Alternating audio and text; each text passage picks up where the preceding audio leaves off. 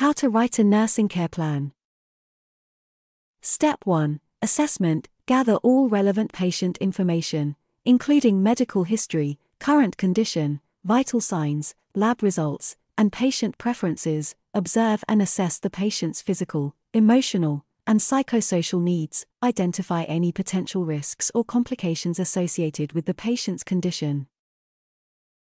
Step 2 Diagnosis Analyze the assessment data to identify nursing diagnoses.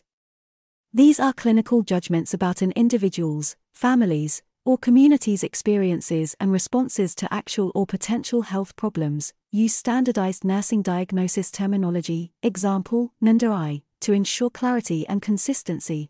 Prioritize nursing diagnoses based on the patient's immediate needs and potential risks.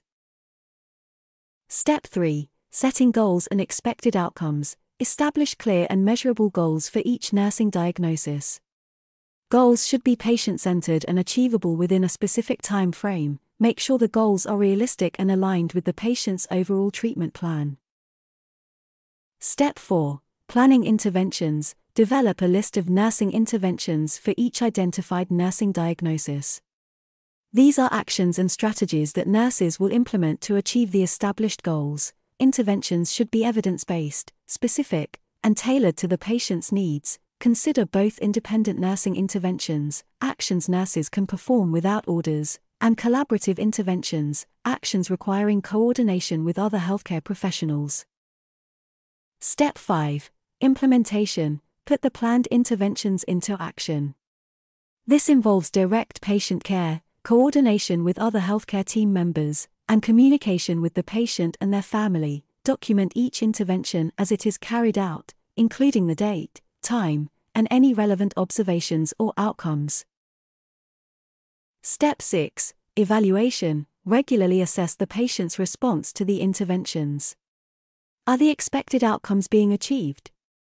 Is the patient's condition improving? If the outcomes are not being met, reassess the nursing care plan and make necessary adjustments to the interventions or goals. Document the results of your evaluations and any modifications to the care plan.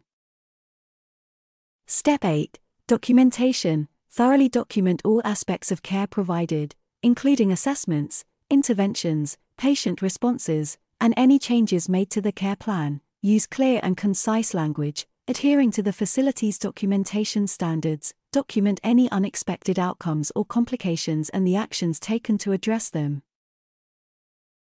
Step 9 Revision and continuation periodically review and revise the care plan based on changes in the patient's condition or response to treatment, communicate changes to the healthcare team to ensure coordinated care, continuously involve the patient and their family in the care planning process to maintain patient centered care.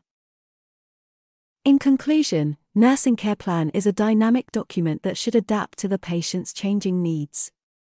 Effective communication, critical thinking, and collaboration